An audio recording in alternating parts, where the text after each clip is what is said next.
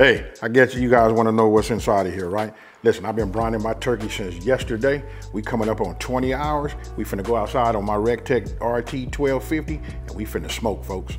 Okay, folks, so look, let's go ahead and get this turkey out. Y'all see that, right? Let's go ahead and grab him. Give him one last little dunk. Hold him up like this. Let him drain and we put it right there. Goodness. This is gonna be juicy. Okay, so now we bring the, our turkey over here. Now this turkey was 13 pounds if I hadn't said nothing already, right? So 13 pounds. And then back here, we're gonna do a little trim, just a little bit, right? I'm just gonna cut that off and maybe that off. We're gonna pat it dry and then we finna season. So, like I said, listen, you wanna go ahead and just pat it dry, right? Okay, folks, so I'm gonna give you guys some options, right? A lot of people ask me, like, do I wanna inject? I do have an injector, but this year I'm not gonna inject at all. I just wanna put some of that smoky flavor outside, you know, from my smoker, which is my RecTeq RT, you know, 1250. So, I got a compound butter right here. It's starting to get hard again. I put this back in the refrigerator. I put this underneath the skin of my chicken, right? And matter of fact, just to give you guys a heads up, look right here. You see that right there? Ooh, wee. Yes, sir.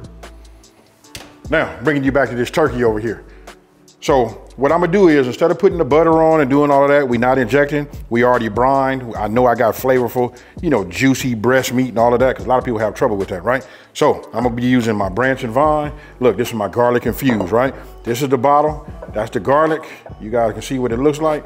I suggest everybody run out and get them some. And they got a new one called Fig. Mm. Wait till what you see what I do for Christmas. Now, I'm gonna go ahead and just put this on here like this.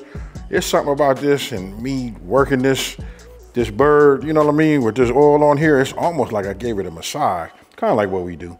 You know what I mean? And then for my seasoning, I'm gonna be using my A seasoning from my Level Up series, right? This right here is great on poultry. But on top of that, this is just a, you know, a basic poultry blend. Super easy to make, stores good. You see I got it in a mason jar. This was full, but look at that right there. All right, so I'm gonna take my clean hand, I'm gonna go ahead and just give her a rub down. Now I'm gonna take my poultry blend, right? And we're just gonna start with this right here. We just start putting it on there. Don't forget we got that branch and vine garlic infused olive oil. We're using that as a binder. You can see the way it just sits on here. Oh yeah. Okay, so you see I got a lot of coverage. Let me turn this around on my side. Let me see what we're working with. Oh, we doing okay. You know why? Because we getting ready to come with my A seasoning, right? Remember folks, when you're doing chicken, this right here does it. Gives you that color too. You know what I mean? Look, oh yeah. Don't forget this is a low sodium product. You know what I mean? So you don't have to, you only, well, you know what, for me, because of, you know, I watch, you know how much sodium intake that I take inside of my body. What I do is, I just add like a pinch to it. You know what I mean? I probably, you know, like if this was a, a actual dish, after I get it seasoned, I just add just a little bit to it, just enough to work, you know, wake it up.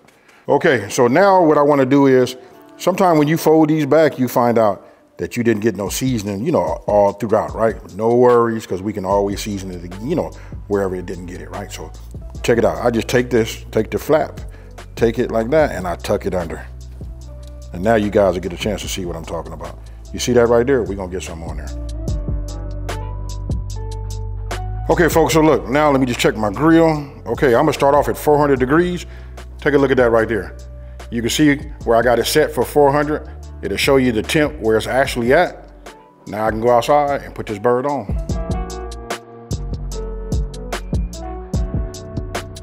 Okay, folks, so look, I'm gonna open this up. Luckily, we're using the pellet grill, right? RecTeq is good at bringing back my temperature. So I'm gonna go ahead and take this, I'm gonna keep it on the rack, drop this right here, and then I'm gonna close it and it'll go ahead and pick up everything else, you know, as far as getting my uh, heat back up to temp. Okay, folks, so look, you know, I, so, I told you I'm at 400 degrees, right? 400 degrees for 30 minutes, then I'm gonna drop the temperature down to about 335 degrees for the remainder of the cook. We'll be checking it with my meat thermometer and uh, we'll go from there.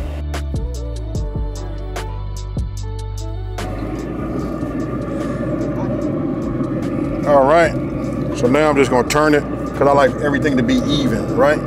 So I'll put this in here like that, close this back down so we can get our temp up.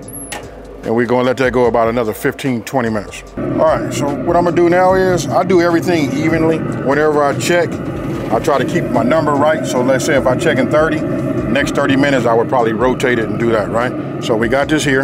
I'm gonna close this down. Now I'm gonna come over here. We're gonna go to my actual, right? I had it set for 425. Now I'm getting ready to lower this. You know what I mean? If you look right here, we're gonna lower this to about 325. And then we finna let it work. Trust me, folks, this right here is gonna be incredible.